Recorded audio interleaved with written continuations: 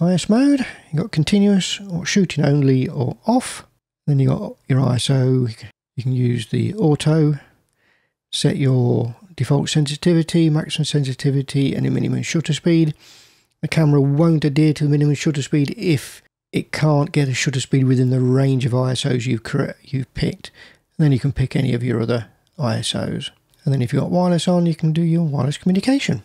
And that's shooting settings.